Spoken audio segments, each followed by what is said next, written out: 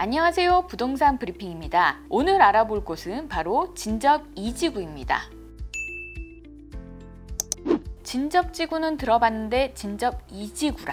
위치는 별내 신도시보다 북측에 있습니다. 지도를 보면 3기 신도시 왕숙 1지구 북측과 이어진 자리에 있는데요. 여기서 주의점! 우리가 알고 있는 그 진접지구가 아니라 진접 2지구입니다. 진접지구는 별내 신도시와 비슷한 시기에 조성된 택지지구입니다. 2009년부터 아파트가 입주가 되었고요. 교통 여건이 그동안 좋지 않아서 주목받지 못했는데 집값도 남들이 오를 때 안 오른 대표적인 지역이 되었죠. 하지만 4호선 연장 진접선과 왕숙 신도시가 운명을 바꿨습니다. 기존 4호선 종점이었던 서울 노원구 당고개역과 남양주시 진접역을 잇는 진접선은 지난 3월 운행이 시작이 되어서 이제는 4호선을 타고 진접지구까지 오갈 수 있습니다. 왕숙 신도시 건설도 호재로 봐야겠습니다.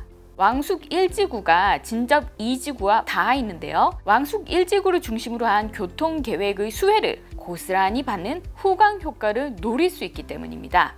3기 신도시 홈페이지 내용인데요. 교통계획을 보면 이렇습니다. 자, 가를 보시죠. 8호선 이용할 수 있는 별내선 연장, 나 부분은 GTX 비노선 정차역이 생기겠죠? 그리고 다는 경의중앙선 역사가 신설이 될 예정이고요. 라 부분을 보셔야 됩니다. 강동, 하남, 남양주간 도시철도 건설, 즉 9호선 연장 기대감도 있습니다.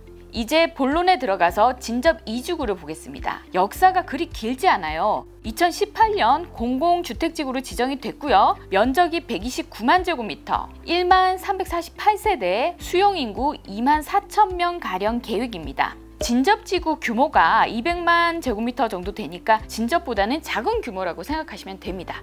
앞에서도 이야기를 했지만 진접 2주구는 왕숙을 빼고서는 이야기가 사실 되지 않습니다. 왕숙 지구가 3기 신도시 중에서도 규모가 꽤 크거든요. 이 일대 공급 쇼크를 우려하는 시선도 있지만 지금처럼 시장 화랑기에는 공급보다는 수혜를 더 중요하게 보니까요.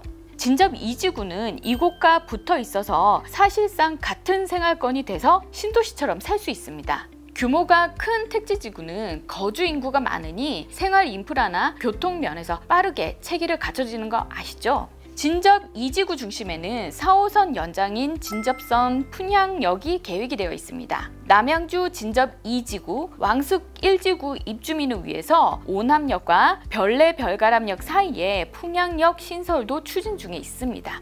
또 9호선도 빼놓지 않고 이야기를 해야 되는 게 2020년 말 3기 신도시 광역교통대책에서 9호선 5단계 연장선이 반영이 되어 있고요. 풍양역이 진접선과 9호선 환승역이 될 것이다 라는 기대감도 꽤 높습니다. 지하철 개통 사업이 땅을 파고 건설을 해야 개통 시기를 가늠할 수 있어서 사실 개통 시기에 대해서 확실하게 확답할 수 없지만 9호선 호재 있다는 거 알아두시고요. 실거래가 어플에서 본 진접지구 아파트 가격인데요. 전용 84제곱미터 금강 펜테리움 4월 실거래가는 6억 4천만 원이었습니다. 여기 가격을 보면 2020년 이후 급등한 모습을 보이고 있습니다. 지금까지 진접 2지구에 대해서 설명해 봤는데요. 생각보다 입지가 나쁘지 않죠? 오늘 영상 도움이 되셨다면 구독과 좋아요 눌러주세요.